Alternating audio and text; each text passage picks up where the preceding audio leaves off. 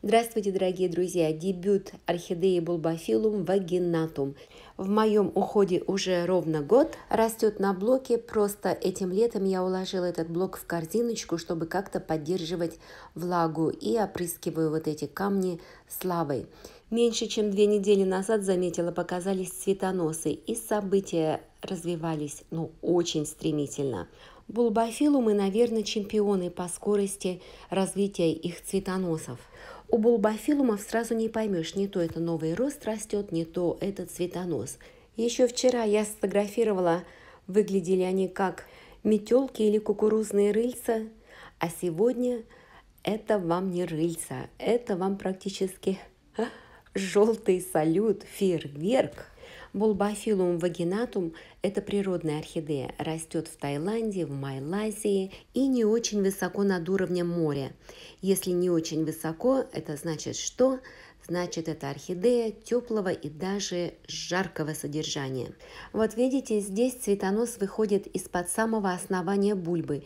И вот у этой тоже. А вот здесь новый рост, продолжение ризомы тоже выходит из-под основания. И вот на этой бульбе хорошо видно.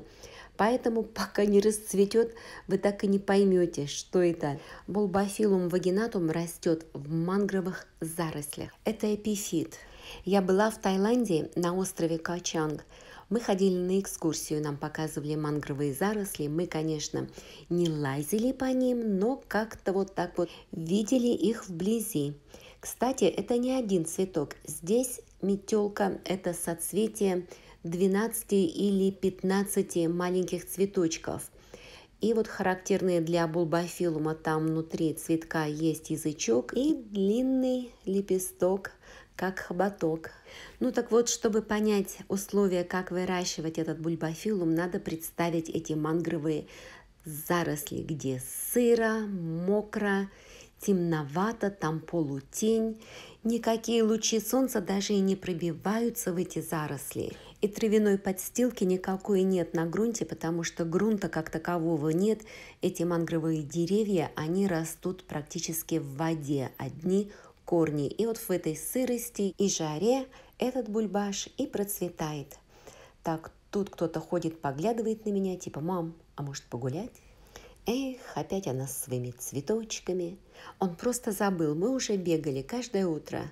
Три с половиной, а то и четыре мили. Весь этот год булбофилум висел у меня на блоке.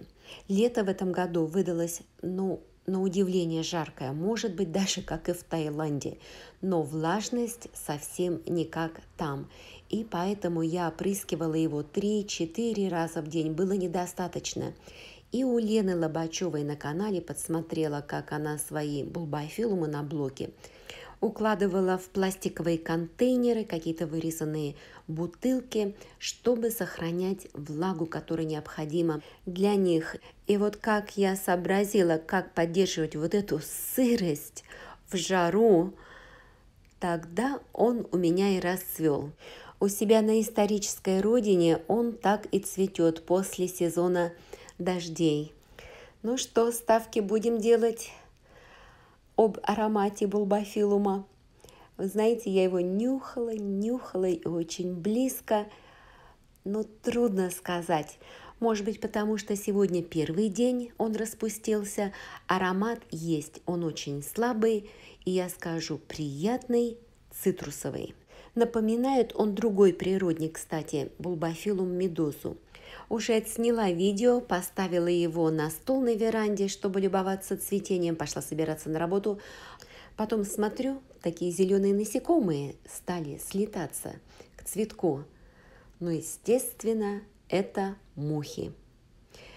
Знаете чего? Вот распустилась у вас орхидея. На некоторые слетаются бабочки, осы, пчелы, на некоторые у меня даже прилетает калибри на котлею птички такие маленькие. Но если на вашу орхидею слетаются мухи, это однозначно, что ваша орхидея булбофилум. Единственный вид орхидей, который опыляется только мухами. Все-таки интересно. Понятно, если мухи слетаются на запах тухлого мяса или там протухшей рыбы, как некоторые булбофилумы пахнут. Но этот пахнет нежно, лимоном. Так нет, муху не приведешь. Удивительные эти орхидеи. Спасибо, друзья, что были со мной. Желаю вам здоровья и здоровья вашим растениям. Пока-пока.